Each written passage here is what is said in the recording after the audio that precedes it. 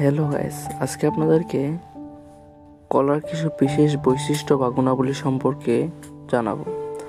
একাধিক গবেষণায় দেখা গেছে যে শুধু পেট খারাপের মতো রোগের প্রকোপ কমাতে নয়, আরও বেশ কিছু জটিল রোগের চিকিৎসাতেও কাঁচা কলার কোনো বিকল্প হয় না বললেই চলে। কারণ কলাতে থাকা carbohydrate, fibre, potassium, vitamin B six, vitamin C এবং আরও নানা সব উপকার উপাদান শরীরের নানা উপকার সাধন করে। এই সকল উপাদান কলাতে পাওয়া যায়।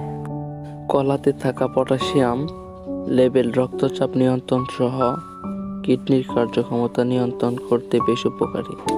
এছাড়াও দৈনিক কলা খেলে কিডনিতে পাথর হওয়া, মূত্রনালীর ইনফেকশন হওয়া, মস্তিষ্কে স্ট্রোক হওয়ার সম্ভাবনা, আলসারের ঝুঁকি ইত্যাদি কমায়। একটি বড় মাপের কলা খেলে একশো ক্যালোরির বেশি শক্তি পাওয়া যায়। কলাতে রয়েছে সহজ হজমযোগ্য শর্করা। এই শর্করা পরিপাকতন্ত্রে সহজে হজম করতে সাহায্য করে। কলার মধ্যে থাকা আয়রন রক্তে হিমোগ্লোবিনের উপাদান সাহায্য করে।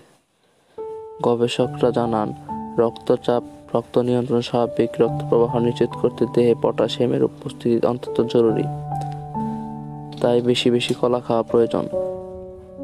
কলায় প্রায় পাঁচশো মিলিগ্রাম পটাশিয়াম থাকে আর মানবদেহের প্রতিদিন ষোলোশো মিলিগ্রাম পটাশিয়াম যোগান দেয়।